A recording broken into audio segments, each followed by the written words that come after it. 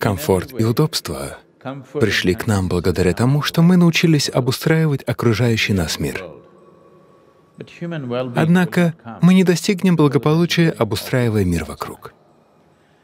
Если обустроить окружающую среду определенным образом, она станет комфортной и удобной. Но благополучие придет к вам только в том случае, если вы преобразите себя, и никак иначе.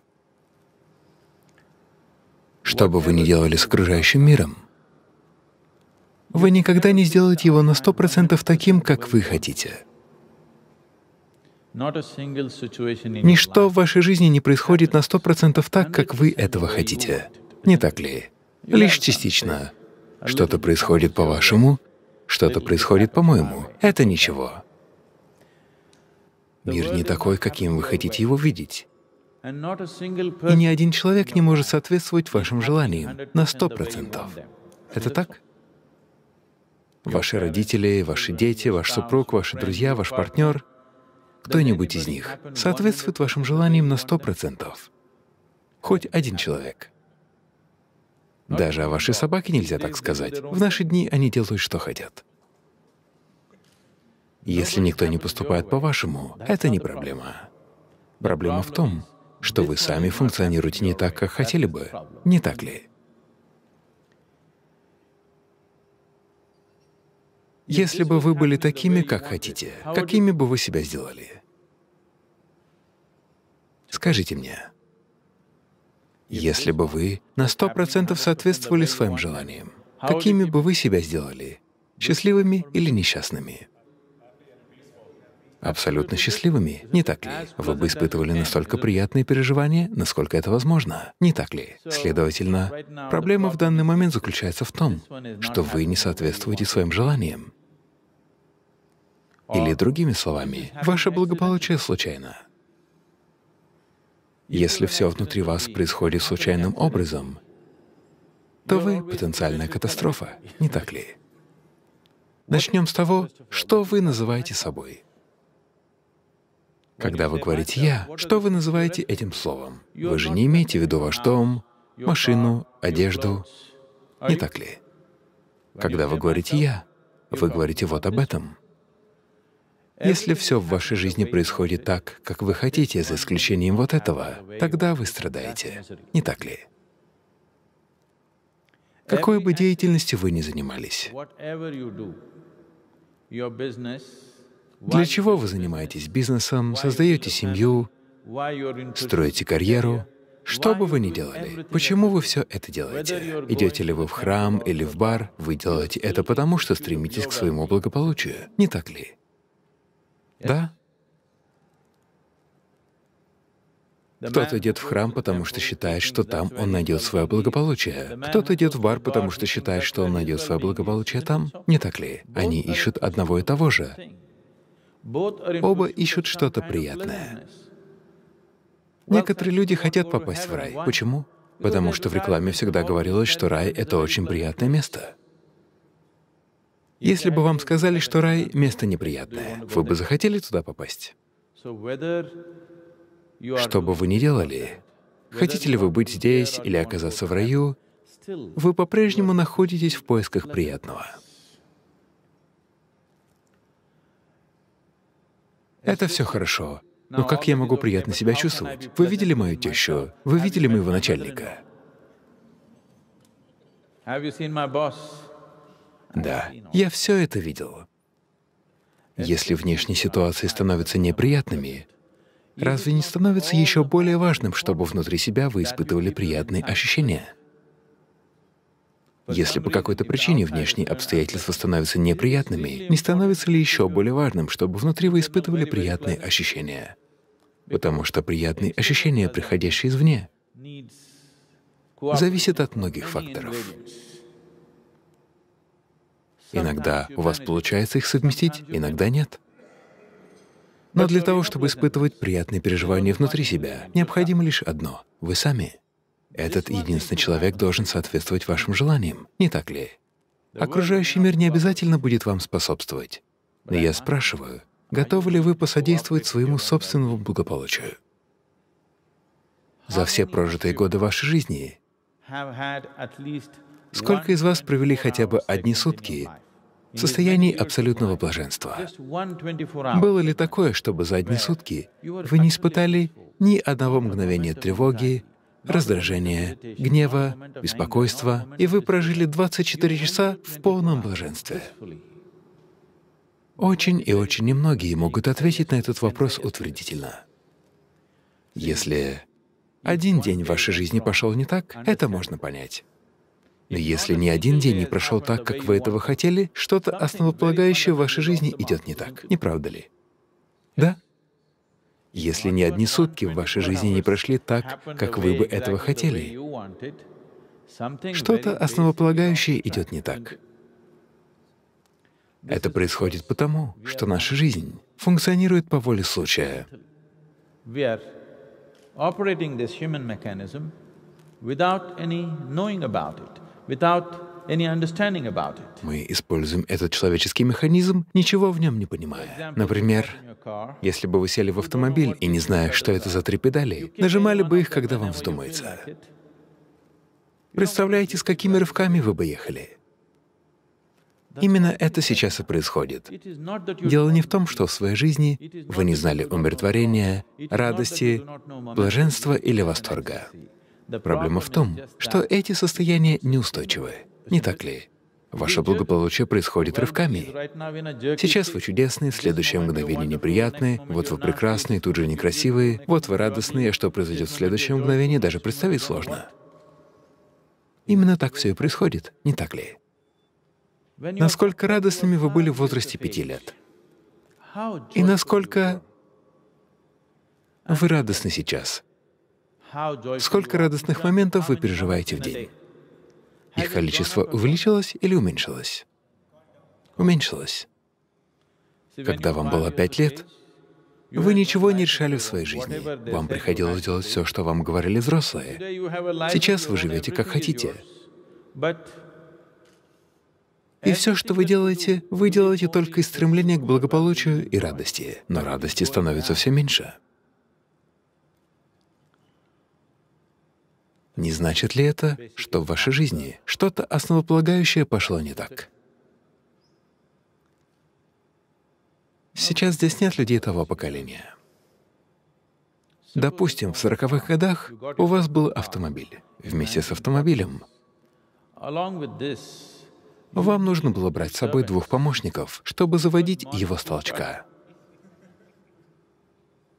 Если бы вы приобрели машину в 50-х годах, хватило бы одного помощника, который бы заводил ее с пусковой рукоятки. Сейчас же все автомобили оснащены автозапуском, не так ли? Я спрашиваю вас только об одном. Ваша радость, ваше умиротворение, ваше благополучие — перевести их на автозапуск или лучше с толчка? Я хочу услышать четкий ответ — автозапуск. Я лишь говорю о модернизации технологий. Но сейчас ваше внутреннее благополучие все еще требует толчка для запуска. Если бы вы управляли им осознанно, вы бы существовали здесь словно сам Творец. Вы бы создавали свою жизнь такой, как вы хотите. Так что, по-моему, самый важный технологический процесс, который нам нужен, состоит в том, чтобы прежде чем начать конструировать окружающий мир, вы начали управлять собой так, как вы хотите. Если вы родились человеком, то одного выживания уже недостаточно. Не так ли? Просто есть, спать, размножаться и однажды умереть для человека почему-то недостаточно. Будь вы каким-то другим живым существом, все было бы просто. Сытый желудок — нет проблем. Но когда вы стали человеком, все изменилось. Пустой желудок — только одна проблема. Полный желудок — сотни проблем. Ваша жизнь начинается только после того, как решен вопрос выживания, не так ли? Сейчас вы человек, и вы постоянно стремитесь к чему-то большему, к чувству удовлетворения, к тому, чтобы преодолеть границы. Мы разберемся с этим позже. Но сейчас, к чему бы вы ни стремились, самое главное, чтобы вы взяли собственные переживания в свои руки. Не так ли? Когда вам было пять лет, у вас было вот такое лицо, оно сияло. Постепенно многие лица начинают вытягиваться, не из-за бороды. Вот как все происходит. Встаньте на любой оживленной улице своего города. Каждую минуту мимо вас будут проноситься сотни людей. Многие из них за рулем автомобиля своей мечты. Но сколько радостных лиц вы увидите? Сколько? Если такие и есть, обычно это лица очень молодых людей. У людей старше 30 лица обычно вытянутые. Почему? Для большинства из них жизнь сложилась гораздо лучше, чем они могли себе представить. Для большинства из вас жизнь сложилась лучше, чем вы могли мечтать. Определенно вы живете лучше, чем ваши отцы и дедушки, с материальной точки зрения. Да? Разве в материальном плане вы живете не лучше, чем ваши родители, дедушки и бабушки? Если только ваш дедушка случайно не был Махараджей. Значит, дело не в том, что в вашей жизни что-то идет не так. Но тем не менее лица все равно вытягиваются. Почему? Если в поисках счастья вы будете пытаться перестроить весь мир, этому не будет конца. Но если вы сделаете разворот, то все уже прямо здесь потому что основа ваших переживаний находится внутри вас. Так что мы будем учиться тому, как совершить такой разворот. Это простой метод, простая технология для того, чтобы обратиться внутрь себя. Если вы обратитесь внутрь и возьмете под контроль основу или источник своих переживаний, разве после этого мне нужно будет говорить вам, выбирайте радость, не выбирайте несчастье? Вам понадобится такое писание? понадобится такое учение. Будь у вас выбор, вы бы выбрали для себя приятное ощущение. В этом нет никаких сомнений. Проблема сейчас в том, что вы потеряли возможность выбирать. Почему так произошло, что вы не можете выбирать? Просто потому, что вы пытаетесь управлять этой системой, не понимая даже ее основ.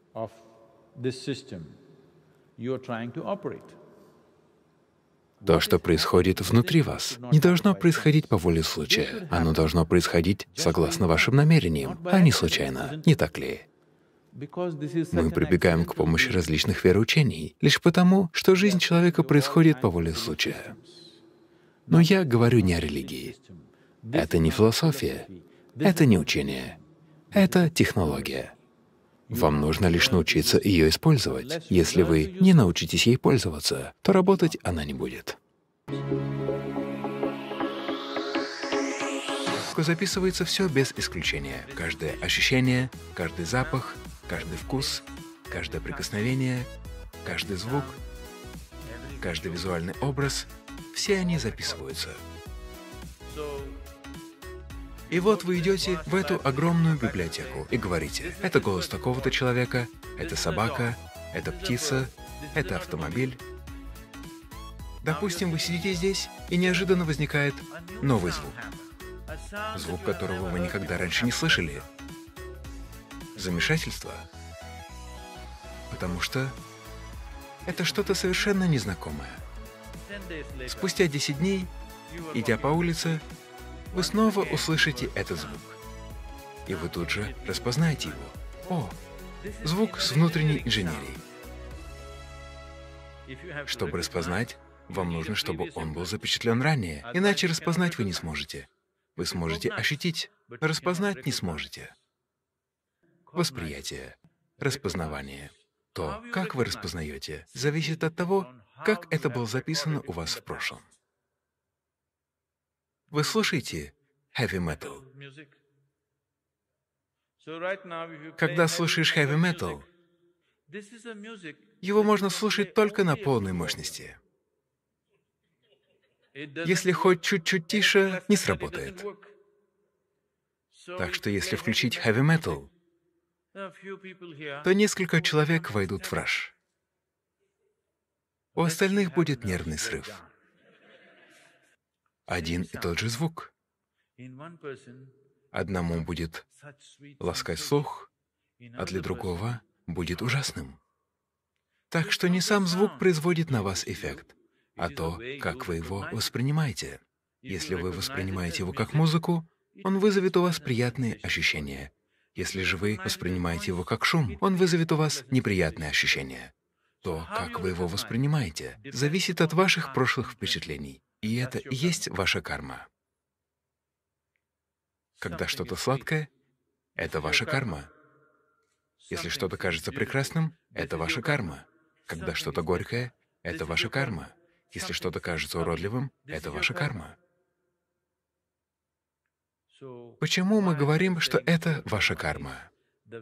То, как вы все ощущаете, это ваших рук дело. Вы сами создаете свой опыт в каждое мгновение своей жизни. Сейчас вы создаете его компульсивно, неконтролируемо. Поэтому вам кажется, что к вам это приходит извне. Но если чуть осознаннее посмотреть на этот процесс, то можно делать его таким, как вам захочется. Так что вы сами творцы собственного опыта. И вот почему мы говорим, что когда так красиво всходит солнце, но мы видим, как кто-то ходит с депрессивным выражением лица, и цветы расцветают, и все во всей Вселенной складывается прекрасно. А тот человек ходит с депрессией на лице. Мы говорим, что такова его карма. Это значит, что он сам это создал. Во Вселенной нет никаких сбоев. Все хорошо. Свое несчастье он создает сам. Свою радость он создает сам, агонию в себе он создает сам, экстаз в себе он создает сам, потому что, по сути, все переживание жизни на сто процентов ваших рук дело. Итак, восприятие, распознавание. Вы распознаете что-то не таким, как оно есть, а согласно ранее воспринятым образом. Так что, какова ваша карма в прошлом, так вы и будете воспринимать. Третий раздел вашего ума создает определенное ощущение. Если же вы этот же звук воспринимаете как шум, она создает неприятное ощущение. Эти три аспекта ума автоматичны. Все это происходит за долю секунды. Четвертая часть ума очень важна, потому что это часть, отвечающая за реакцию, и она в ваших руках. У вас возникает приятное ощущение. И вы говорите, «Я это обожаю». И тогда ваша санкара говорит, «Ага, он это любит». Поместим это в коробку с любимым. И навсегда кладет это в коробку с любимым. Вы ощущаете что-то неприятное и говорите, «Ненавижу это». Санкара говорит, «Ага, он это ненавидит поместим в коробку с ненавистным и кладет это туда навсегда. Когда вы любите и ненавидите, тянетесь к чему-то или отвращаетесь, желаете или не желаете, ваша карма растет. Чем сильнее ваши симпатии и антипатии, тем сильнее и болезненнее становится ваша карма. Вам это знакомо? Если у вас есть стойкое чувство симпатии и антипатии, страдания бывают такими же насыщенными. Потому что чем сильнее вы заключены в этих симпатиях и антипатиях, желаниях и нежеланиях, тягах и отвращениях, тем более быстрыми темпами растет карма. Внутри вас выстраиваются механизмы привязки. Если же возникает ощущение, а вы невозмутимы, вы просто переживаете это ощущение таким, как оно есть. Не то чтобы вам это нравилось или не нравилось, вы просто его проживаете. Потому что когда вам что-то нравится, вы это искажаете. Когда вам что-то не нравится, вы это искажаете. Вы просто ощущаете это на опыте. И тогда вся карма, связанная с подобными ощущениями в прошлом, начнет рушиться внутри вас. Так что если сохранять такое беспристрастное состояние ума, ваша карма начнет разрушаться. Когда же ваш ум бывает беспристрастным? Когда вы принимаете то, что есть здесь и сейчас, ваш ум беспристрастен. И нет такого, что вам нравится или не нравится. Вы все переживаете таким, как оно есть. Вы сказали мне, что пришли сюда, чтобы проживать жизнь, а не искажать ее или избегать, не уклоняться от жизни, а проживать ее. Если вы хотите проживать жизнь, Ваш ум должен быть беспристрастным. Только тогда вы испытаете все таким, как оно есть. Жизнь может быть постоянно самой разной на вкус. Но не будет того, что вам что-то нравится или не нравится. Вы просто наслаждаетесь разными оттенками вкуса и жизненной атмосферы. Вы здесь для того, чтобы впитать и прожить как можно больше жизни до того, как вы упадете замертво. Нет, мне нравится это и только это. Ну тогда для вас все без толку. Если вы делите на нравится и не нравится, на пристрастие и отвращение, будет происходить карма в вроде. Карма будет расти огромными темпами, и будут возникать механизмы привязанностей. Если же вы находитесь в принятии, карма будет разрушаться. Если пытаться делать что-то через силу, будут происходить обратные вещи. Практикуя и практикуя принятие, принимая и принимая, вы будете двигаться ко все большей степени свободы. А сопротивляясь и сопротивляясь, вы сами себе постоянно роете могилу. Карма означает действие. Чье действие? Мое действие. Чья это ответственность? Моя ответственность. После всего этого мучения с ответственностью вы по-прежнему не уяснили, что это значит, что имеется в виду под ответственностью. Я говорю вам, что вы ответственны даже за то, что происходило до вашего рождения. Ну вот. До сих пор мы были с вами. Но это уже переходит все границы приличия. Как это так? Я ответственен за то, что было до моего рождения? Что за чушь? Давайте посмотрим с такой точки зрения. Мой дед дал вашему деду 25 миллионов долларов в долг. Это проверенный факт.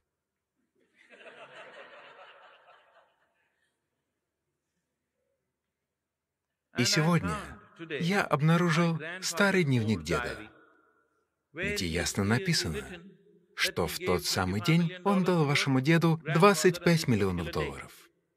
И всем известно, что спустя три дня мой дед умер, а за три дня деньги было невозможно вернуть. У меня есть доказательства.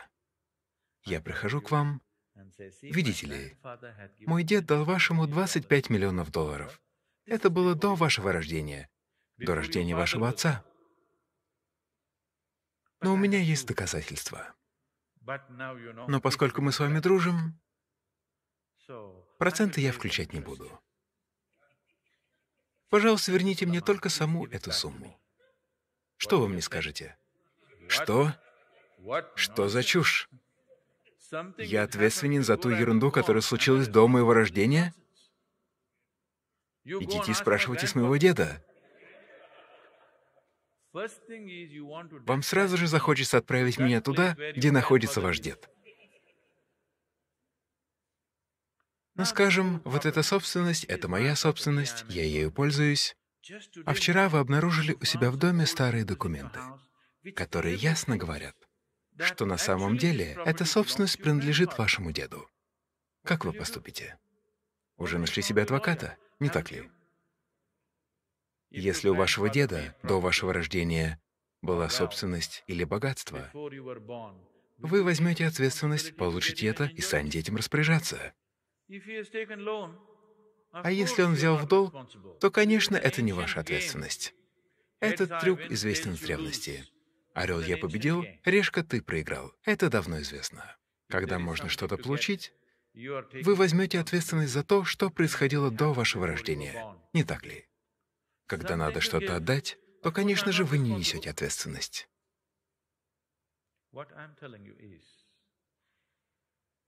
Я хочу сказать, что ответственность распространяется гораздо дальше ваших нынешних представлений и восприятия. Насколько вы способны видеть жизнь, настолько вы и будете осознавать, что ответственны. И тогда вы начнете двигаться к освобождению. Если же пытаться ее на кого-то перекладывать, вы начнете двигаться к запутанности.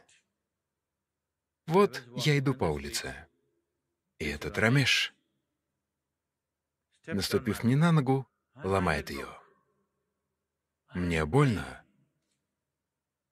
Мне очень больно, и я думаю, что этот рамеш ответственен за мою боль. И да, родители обучали меня разным моральным принципам.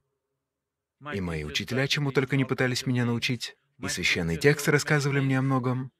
Но поскольку мне больно, и я думаю, что ответственен за эту боль он, мне хочется сломать ему обе ноги. Возможно, я этого не сделаю. Неважно, каким моральным принципам меня учили. Как только я подумаю, что ответственен он, я начну следовать за его ногами. Я пойду не туда, куда хочется мне. Я пойду туда, куда пойдут его ноги. Если же я осознаю, что моя нога сломана, а на этой планете 14 миллиардов ног, и из всех ног сломалась моя, такова моя карма. Я не знаю. Сейчас я не смогу разобраться, в чем причина этого. Но раз моя нога сломана, значит, такова моя карма. Если я осознаю это, я буду обеспокоен только тем, как восстановить ногу и пойти туда, куда мне захочется. Если же я буду думать, что ответственен он, я пойду не туда, куда я хотел, я пойду туда, куда поведут его ноги. Но осознавая, что ответственен я сам, я пойду туда, куда хочется мне. Что из этого является более разумным способом существовать? Карма — это не фатализм. Карма означает осознавать, что жизнь на сто процентов моих рук дело. Моя жизнь на сто процентов моих рук дело. Если осознавать это, то можно создать вашу жизнь такой, как вам хочется. А иначе вы проведете остаток жизни, отвергая одного, ненавидя другого и жалуясь на третьего. И так пройдет вся ваша жизнь. Вы будете чувствовать себя бессильными, загнанными в угол. Я таков, потому что родители передали мне нехорошие гены. Вам следует подумать о чем-то другом, не так ли? Да? Если вам хватает ума, чтобы думать, что ваш отец передал вам нехорошие гены, значит, у вас достаточно ума, чтобы жить хорошо. Карма не предполагает фатализма. Карма значит полностью взять ответственность за свою жизнь, стать хозяином собственной судьбы, направить свою жизнь туда, куда вам хочется, а не позволять ей происходить по воле случая. Вот что такое карма. Summer in the hills, those hazy days I do remember. We were running still, had the whole world at our feet, watching seasons change.